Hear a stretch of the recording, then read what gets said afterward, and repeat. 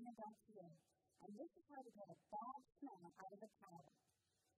Oh, what can you do when your towels smell bad? Well, there's a few different reasons why towels smell bad. Sometimes it's the dye that's used in manufacturing. Sometimes it's the chemicals used in the manufacturing. And sometimes they've just been sitting too long in the water. And mushrooms and mildew and bacteria have grown and they smell bad. So what can you do?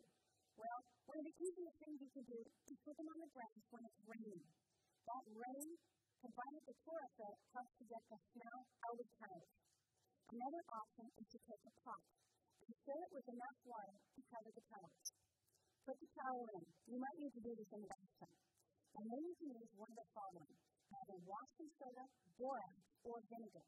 Make sure that you always wear gloves whenever you're working with washing soda. Take a quarter cup of washing soda and sprinkle it into the water. Let for about 30 minutes or longer. There's no nucleic phosphates in washing soda, so it won't damage the color. But make sure that you always test everything on an inconspicuous area first.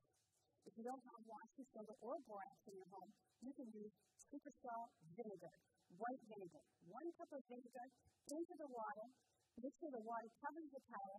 Let it soak for a few hours and pour the entire contents into your washing machine. And that's how you get rid of that horrible smelling towels. I'm Reena from Reena.ca.